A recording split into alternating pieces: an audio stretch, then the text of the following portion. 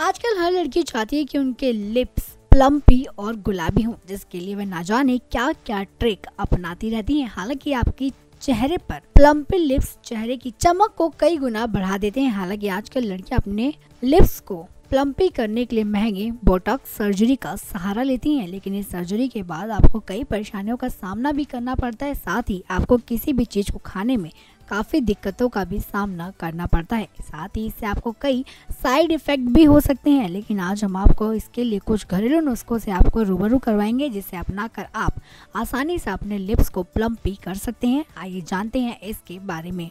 Number one इसके लिए आप लिप बाम को लेकर उसमें सिर्फ़ और सिर्फ़ एक बूंद लौंग का तेल डालकर अच्छे से मिला लें और इसे अपने होठों पर हल्के हाथों से लगाएँ।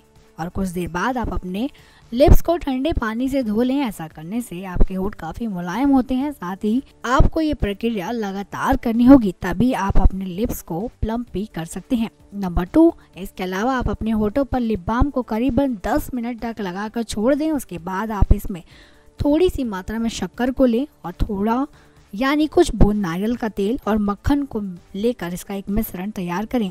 और इस मिश्रण को लगभग पाँच मिनट तक अपने होठों पर रगड़ें, ऐसा करने से आपके लिप्स काफ़ी मुलायम और गुलाबी नज़र आते हैं। साथ ही आप फटे होठों से निजात भी पा लेते हैं। नंबर थ्री, आगे आपको बताते चले कि आप लिप्स को प्लम्पी करना चाहते हैं तो इसके लिए आप औषधियों से भरपूर शहद का इस्तेमाल कर सकते हैं। जी हाँ आपको बता दें कि शहद को लेकर आप करीबन 10 मिनट तक अपने होठों पर स्क्रब करें। ऐसा करने से आपके लिप्स काफ़ी मुलायम होते हैं, साथ ही प्लम्पी भी होते हैं। करण हेल्थ से रानी की रिपोर्ट।